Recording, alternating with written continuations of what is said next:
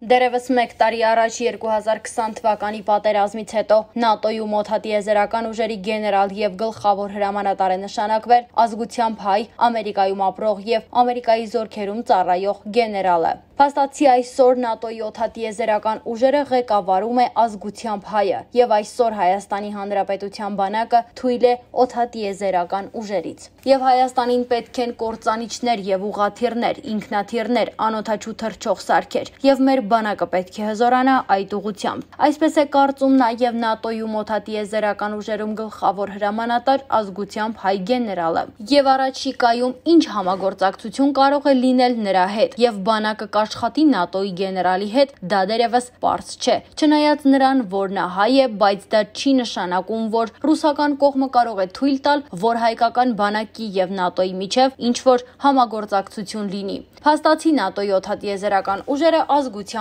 հայն է ղեկավարում։ ԼՂ-ի եւ ՀՀ-ի միջև 1993 թվականին խիստ գաղտնի պայմանագրի տեքստը 14 հունիսի 1993 թիվ խիստ գաղտնի պայմանագիր Լեռնային Ղարաբաղի Հանրապետությունը վստահելով միջազգային հանրության Ռուսաստանի, ԱՄՆ-ի եւ մասնավորապես Հայաստանի Հանրապետության նախագահ Լևոն Տեր-Պետրոսյանի երաշխիքներին չին համաձայնում է ԵԱՀԿ-ի Մինսկի խմբի խաղաղարար նախաձեռնությանը երկրորդ պարտավորվում է ճշգրտորեն կատարել խաղաղարար ծրագրի իրեն վերաբերող բոլոր պահանջները եւ իր կողմից թույլ չտալ որևէ խախտում։ Երրորդ, պարտավորվում է պատժել ԼՂ իշխանությունների կողմից ծրագրի կատարմանն ուղղված որոշումների ու հրամանների բոլոր խախտողներին։ Չորրորդ, Հայաստանի Հանրապետությունը պարտավորվում է ստանձնել խաղաղարար ծրագրի կատարման եւ ԼՂՀ բնակչության անվտանգության երաշխավորի դեր։ ԼՂՀ բնակչության ֆիզիկական գոյության կամ բռնի տեղահանության վտանգի դեպքում գործի դնել իր բոլոր հնարավորությունները միջամտությունները,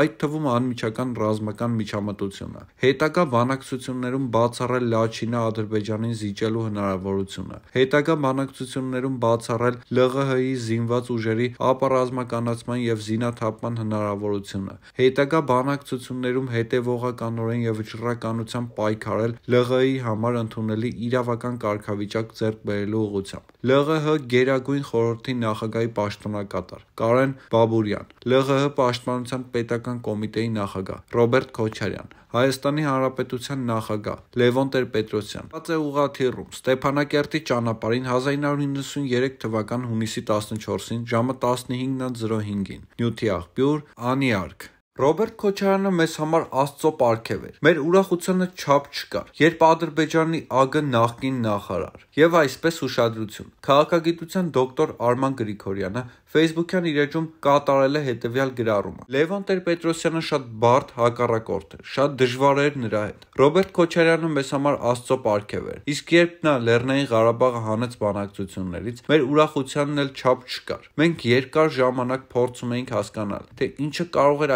այդպիսի քայլի շարժառիթը լինել։ Ադրբեջանի նախկին արտաքին գործերի նախարար Թոֆիկ Ֆուգարովն է արել այս հայտարարությունը Բերլինյան մեր բանավեճից առաջ ունեցած անձնական զրույցի ժամանակ։ Ես ունեմ սա հրաապարակավ նրա համաձայնությունը, այնպես որ որևէ էթիկայի կանոն չեմ խախտում։ Եթե ինչ որ մեկն էլ ցանկություն կունենա իմ ասացի հավաստիությունը ստուգելու, կարող է կապ հաստատել պարոն Ժուլֆուգարովի հետ։ Նյութի աղբյուր Armblog.info Խաղաղությունը Ադրբեջանին պետք է պարտադրվի, այդ թվում նաև ուժով։ Տարածաշրջանում իրենց մեքաշահերը հետապնդող պետությունների արձագանքից կարելի է հանգել հետևության, որ ադրբեջանական սադրանքը ավելի խորքային ռազմաքաղաքական նպատակ է հետապնդել, քան լոկ միջդիրքային բախումը։ Ակնհայտ է, որ Ադրբեջանը ցանկանում է ամեն գնով հասնել ռազմաքաղաքական հավասարակշռության խախտմանը, փորձելով միջազգային հանրության մոտ ստեղծել հանրային կարծիք հայ-ադրբեջանական հակամարտության էության վերաբերյալ թվացial զոհի կերպարով։ Մյուս կողմից տպավորություն ստեղծելով, որ գործ ունենք պարտված պետության սինդրոմից դուրս եկած ու հզոր զինված ուժեր ունեցող Ադրբեջանի հետ, որը կարող է լուծել իր առջև դրված խնդիրը։ Այս առումով պետք է արձանագրել, որ հայկական կողմը հակամարտության սկզբնավորման պահից ի վեր քարոզչական դաշտում մշտապես ունեցել է խնդիրներ։ Մենք բավարարվել ենք իրական պատերազմում ձեռք բերված տպավորիչ հաղթանակով, քարոզչական դաշտում դրսևորելով հաղթողին վայել համեստ պահվածք։ Սակայն ժամանակ օրինակները փոխվել են, եւ այս առումով մենք իսկապես լուրջ անելիքներ ունենք։ Հայաստանը պետք է ակտիվացնի իր քարոշչական եւ դիվանագիտական աշխատանքը, սկզբունքորեն փոխելով քարոշչական գործունեության բնույթն ու էությունը, ցույց տալու համար միջազգային հանրությանը, որ զոհի կերպարով հանդես եկող պետությունը իրականում կառուցված է ազգային ատելության ու թշնամանքի վրա, սպառնալով մեր գոյությանը։ Եթե սա պատերազմ է, ուրեմն բոլոր ճակատերում մենք պարտավոր ենք ցուցաբերել վճռականություն ու հաստատակամություն։ Այնուամենայնիվ, մնում եմ այն համոզմանը, որ չի կարելի անլուրջ վերաբերել Ալիևի հայտարարություններին։ Այդ մարդը պատրաստվում է մեծ պատերազմի։ Նրա սպառնալիքներն ու վերջնագրերը Երևանը գրավելու մասին Նախիջևանում առանձին բանակ կազմավորելու հանգամանքը Հայաստանը արևմտյան Ադրբեջան հորջորջելու զառանցանքը չի կարելի դիտարկել միայն ներքին լսարանի համար քարոզչական ելույթների համատեքստում։ Ադրբեջանը առաջնորդվում է առավելապաշտական ու անիրական գաղափարներով։ Ամեն ինչ իմն է։ Մա Հայաստանին եւ հայ ժողովրդին լոզունգներով։ Այս իրավիճակում պատկերացնել հակամարտության ռացիոնալ ու խաղաղ կարգավորման հերանեկար ու խաղաղություն պարզապես երազանք է։ Այո, ես պատերազմ չեմ ուզում, բայց նաեւ գիտակցում եմ, որ այս դեպքում խաղաղությունը Ադրբեջանին պետք է պարտադրվի, այդ թվում նաեւ ուժով։ Գրառումը կատարել էր Նորիկ Նորիկյանը իր Facebook-յան էջում։ Ձերբակալվել են բուժաշխատողներ, բացահայտվել է գումարի դիմաց կորոնավիրուսի դեմ պատվաստման կեղծ տվյալներ տրամադրելու դեպք։ ԱԱԾ-ն բացահայտել է պոլիկլինիկաներից մեկի աշխատակիցների կողմից որոշ անձանց գումարի դիմաց պատվաստման կեղծ տվյալներ տրամադրելու հերթական դեպքը։ Ձերբակալվել են բուժաշխատողներ։ Հայաստանի Հանրապետության ԱԱԾ-ի հաղորդագրության համաձայն Երևանի քաղաքային վարչության ծառայողների կողմից փաստական տվյալներ են ձեռք բերվել, որ կորոնավիրուսային հիվանդության դեմ պատվաստման գործընթացում լիազորություններ ունեցող Երևանի քաղաքապետարանի պոլիկլինիկաներից մեկի պաշտոնատար անձ չհանդիսացող հանրային ծառայողներին կորոնավիրուսային հիվանդության դեմ փաստացի չպատվաստելու,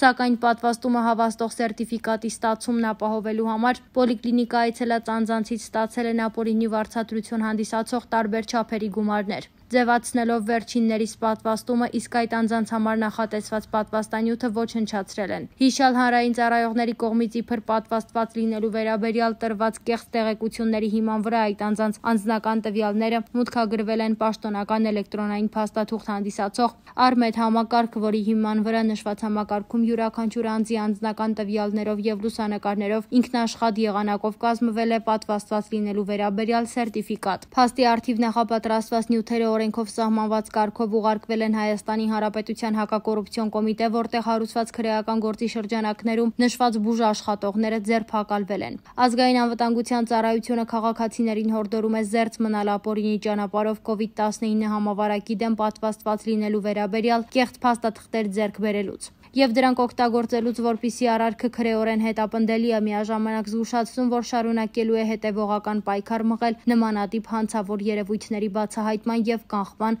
ինչպես նաեւ մեղավորներին քրեական պատասխանատվության ենթարկելու ուղղությամբ։ Նյութի աղբյուր armtimes.com